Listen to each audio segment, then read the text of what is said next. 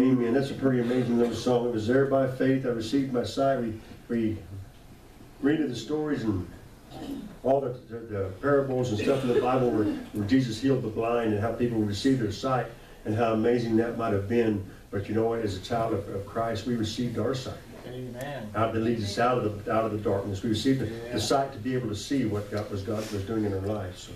So. no one's ever cared for me that way.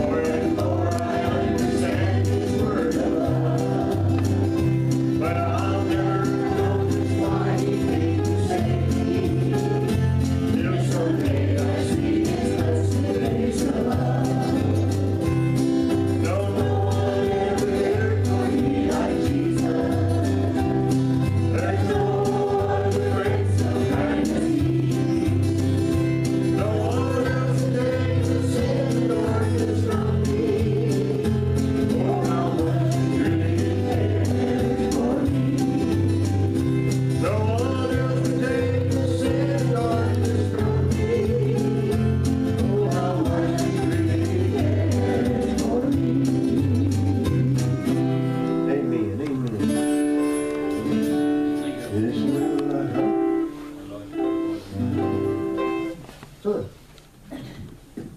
explosion. always.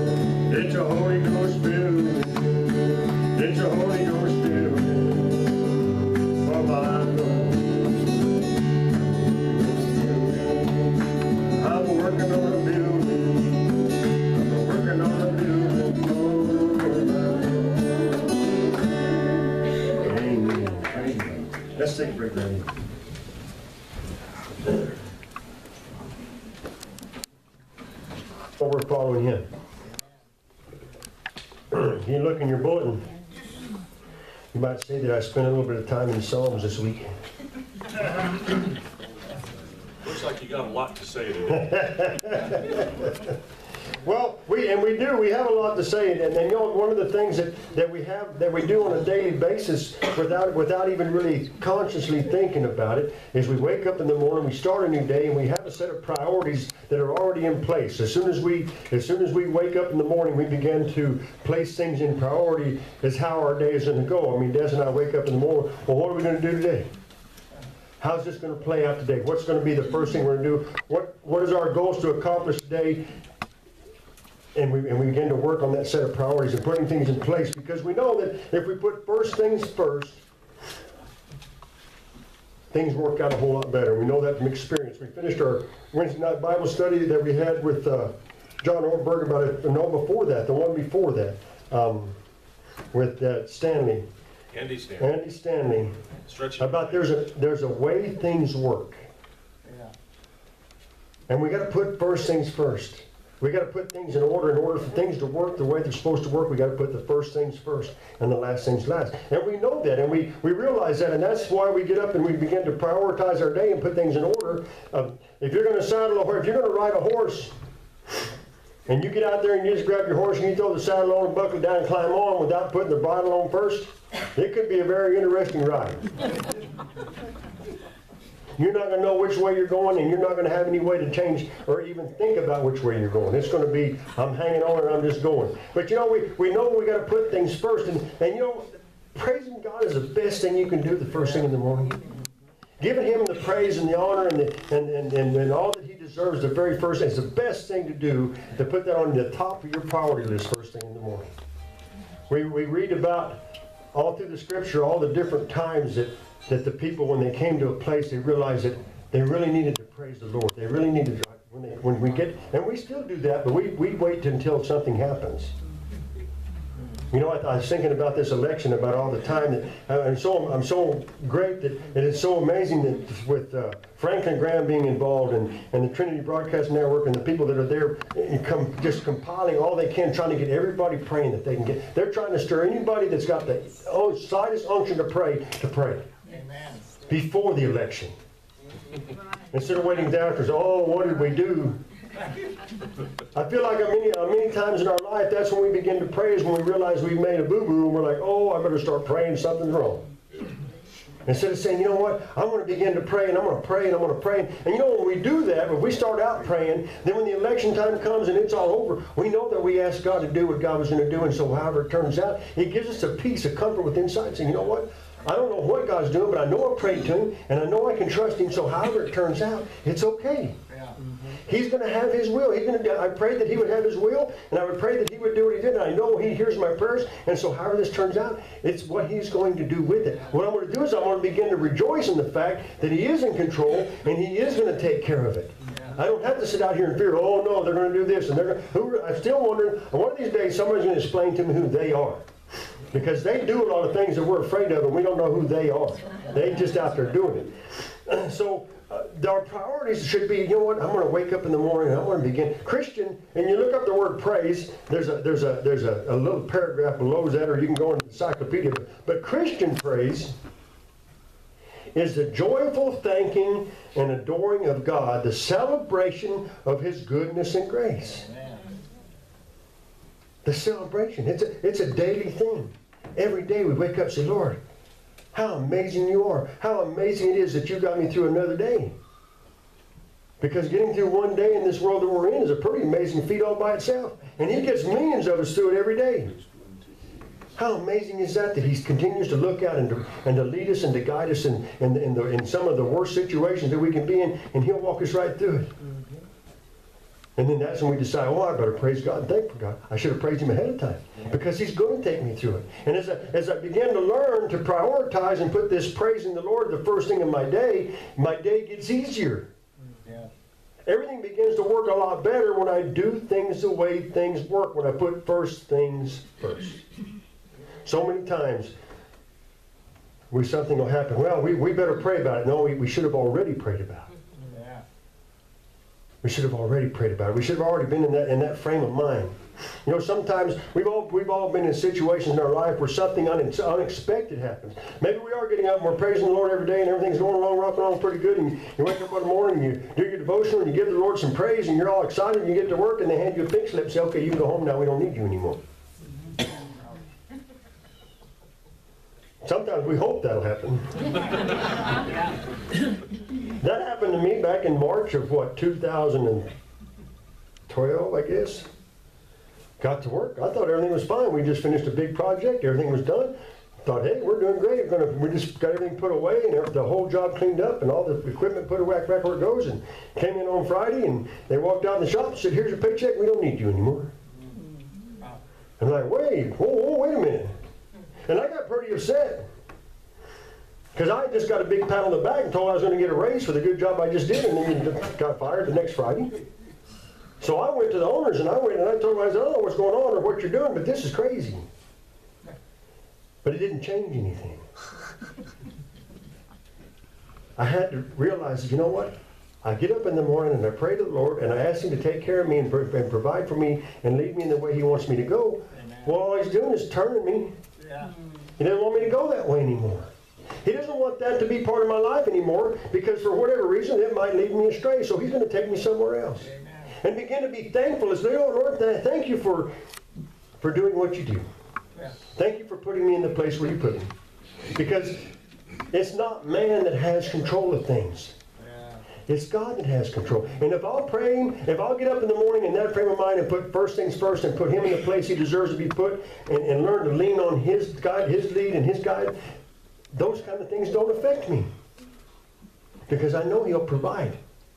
He teaches me if I'll trust him, Yeah. if I will trust him, he will provide. Yeah. So whatever happens, I can say, you know what? You know what? Instead of being upset, I should have went up to the guy that owned the place and said, hey, thanks a lot. I appreciate you supporting this guy that just fired me because it's going to take me in a new direction. It's going to take me someplace where I didn't know I could go. So thank you. Now, how amazing would, be, would that be when the boss always said, we don't need you anymore, here's your check. Well, thanks. Wow. I appreciate that a lot. Do you, you want this back? Because I have somebody that provides for me, I don't really need this. If you want, if y'all got it so bad, you need this back, you have it back. How amazing is that? And when they see that kind of confidence, when people see that kind of, that, that assurance in my Savior. We went and saw a movie last night, it came out Friday, Hacksaw Ridge. True story. Unbelievable what that man went through. Unbelievable. If you, if you haven't seen it, and you may not have, because like I said, it just came out Friday, go and see it. It is, it is completely unfathomable what, what this man's life story, and it's a true story. They, they, they interview the true man at the end of the story. It really happened. And to think, to see how he trusted God. When he was at the very end of his physical limits, he told God, let me do it again. Let me do it again. Let me do it again. So go and I, I, I, I invite you to go and see it. It's really, it really drives home what God can really do. And this, again, it's a true story. They interviewed the guy at the end of the movie, and he died in 2006. Um, but go and see it to see the trust and what trust and faith can can can put together, and what God can do in someone who's willing, regardless of the situation that you're in. Trusting Him and, and, and doing what He called you to do. It's unbelievable. It's amazing. And that's what that's what we, we need to recognize. Well, I was going to share something, but I know you have to go see it. You know that, that there's there's some very good reasons, some very very good reasons why we should see why we should praise God. First thing, put first things first. Get God. Let's go. Let's start. I want to start out in 2 Samuel 22. 2 Samuel 22 and 4.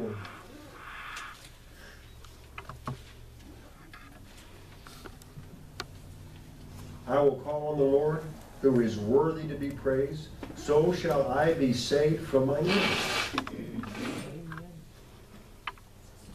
So when I praise the Lord, when I get down on my knees and I, I just praise the Lord, or if I just lift my hands, or if I just sing out loud, or if I just praise the Lord, I will be saved from things. It's, it's written Second Samuel realized that. Samuel realized, if I'll just get the first things first and do the most important things first, I'll be saved. I won't have to worry about the things that are out there. I won't have to, I won't have to worry about the situation that I'm in. I can do it different than everybody else. I don't have to do it just like everybody else. I do the way He calls me to go. And do the things He calls me to do. Go to Psalms now, 96. You know, uh, praising the Lord and worshiping the Lord is something that just, uh, as we as we learn and as we study and as we grow and learn the importance of it and learn what, what we can what we can acquire, what what it, what the blessing. The, when we praise the Lord, the blessing is all ours. When we take our time and we devote it to God, to God, He blesses us. He blesses us abundantly in return for giving Him the, the, the praise and the glory that He deserves. Psalms 96 and 4. For the Lord is great and greatly to be praised. He is to be feared above all gods. Going to Psalms 145.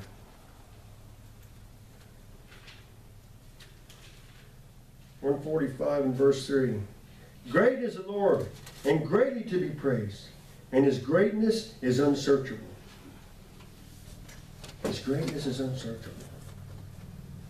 Even, even if I get all the, what was, they had a, they had two guys on the news this morning arguing back and forth about the Prop 205. What's good, what's, one guy was for it, one guy's against it. And they had both done a whole bunch of homework. They both had, one guy had a whole, a whole big three-ring binder of pages with, with all kinds of sticky notes and all, he was ready for anything. The other guy, he had, he had his knowledge up here, he knew what, he knew why he was defending what he was, he knew why he was against it, he knew the whole purpose, and he knew the whole plan behind it, he'd done a whole lot of homework. But the scripture says that having that kind of knowledge of God is unsearchable, you can't even find it, just praise him. Yeah, man. It's not about why, it's not about what, it's about I'm just gonna praise him because he deserves to be praised. Yeah. I don't need a reason. I don't need to have something happen. I don't need a miracle so that I can praise God. I'll praise Him first, and the miracle will come afterwards. If I'll just take the time to say, you know what? There's a whole lot of things happening. There's a whole lot of things going on, but I'm just going to praise Him. I'm going to thank Him, and that His, you know, I, I'm anxious to, anxious to see. They're anticipating, based on the early voters and all that, and all the, I mean, that, that's been everything's been nothing but a headache. But, but um, based on all, they're they're really anticipating a huge voter turnout Tuesday. And I'm interested, I'd be interested to see, we're gonna be in there praying. And they're gonna be in here voting. And if it would, if it would be possible, it would really be neat to see the results from this polling location and the results from the others.